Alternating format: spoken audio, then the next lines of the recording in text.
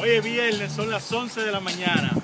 Tú estás trabajando, pero a lo mejor tú tienes en tu mano el vehículo para llegar a ser libre. Esto es una muestra de lo que pudiéramos lograr. Imagínate un viernes como hoy con tu familia. Ahí está Alessandra ya atrás filmando, por eso no se ve. Aquí está Hanna. Y aquí está Ana, que es su primer paseo en la playa. Tú no tienes que esperar a la Semana Santa para ser libre. Solamente con tu buena decisión, tú vas a lograr de que los días de fiesta tú lo vas a poner cada día que tú quieras. Así que toma la decisión que en la vida hay muchas cosas que disfrutar si tú tuvieras tiempo. Nos vemos en la noche. Bye.